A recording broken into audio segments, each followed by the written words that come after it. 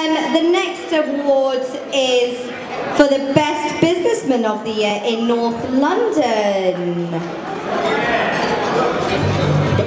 How many businessmen do we have in the house? How many? I can't hear. Oh, that's bad. If you have food, you don't want to be a businessman, do you?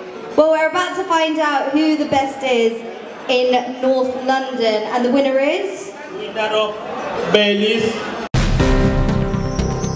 Bayleaf. Best Business of the Year in North London, Mr. Tafazal Mia. Bayleaf is a restaurant in North London.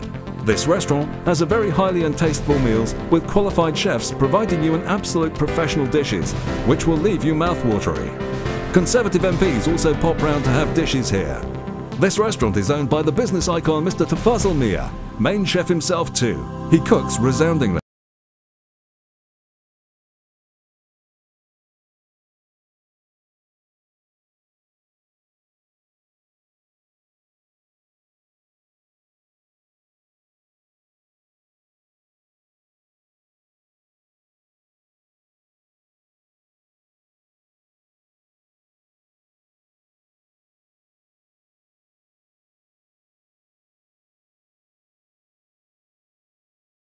Only if you allow me, Nadia. You're doing a fantastic job. You're the star of the show, you know that. Come on, give it up for Nadia! Excellent. Uh, thank you very much. I'm very honored and privileged to receive this award. It is a special award, and I think Mr. Khan is doing a fantastic job to unite the community as well as encourage the restaurateurs and the chefs.